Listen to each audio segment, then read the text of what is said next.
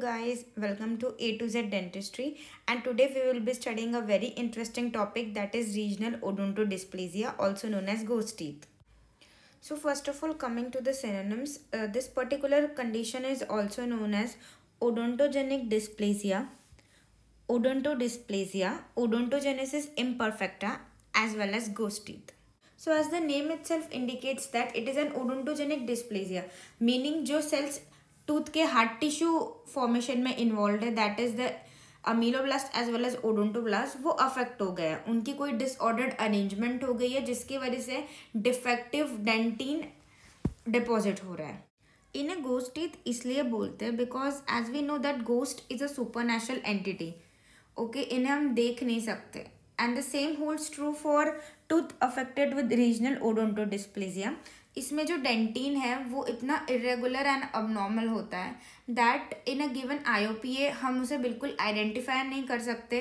Natural जो dentine होता है it looks radio opaque but in this cases it looks completely radio lucent और we can just make out a thin rim of dentine moving on to the etiology of this condition, so basically it is unknown, although some books mention that it is due to a somatic mutation and other theory is that there is some latent virus which is residing in the odontogenic epithelium and due to some environmental factors or local factors there is reactivation of this virus leading to formation of ghost teeth. Moving on to the clinical features so it affects females more commonly than males and maxillary teeth are affected more commonly than the mandibular teeth.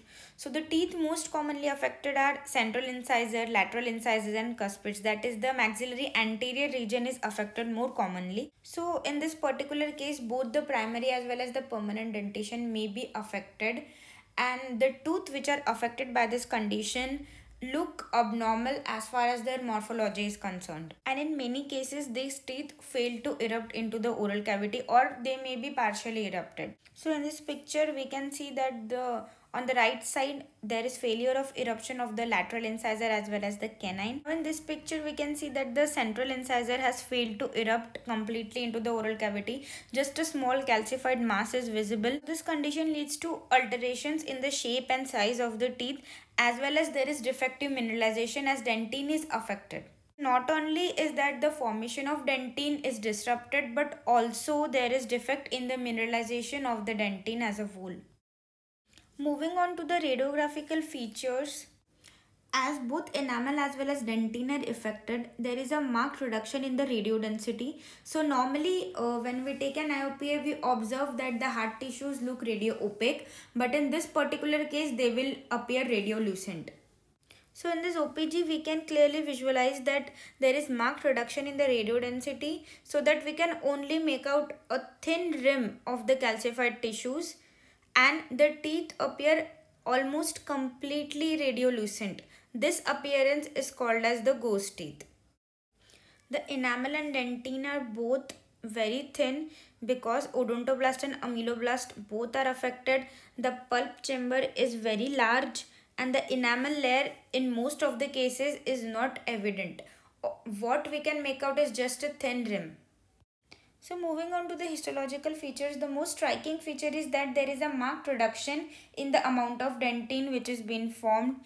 Also, there is an irregular tubular pattern as far as the dentin is concerned. The dentinal tubules are not arranged in their normal morphological pattern, rather they are arranged in an irregular pattern.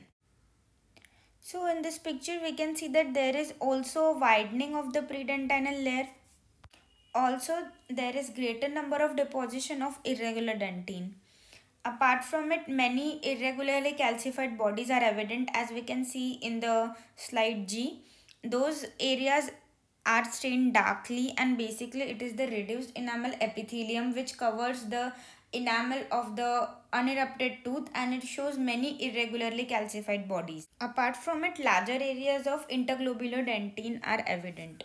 In the previous pictures as we have seen that these teeth have a very poor cosmetic or aesthetic appearance and they are poorly calcified meaning that these teeth are prone to undergo accelerated attrition and exposure of the pulp.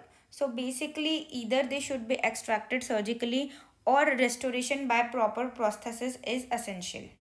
So that was all about ghost teeth guys. I hope you understood this topic very well. Thank you. See you next time.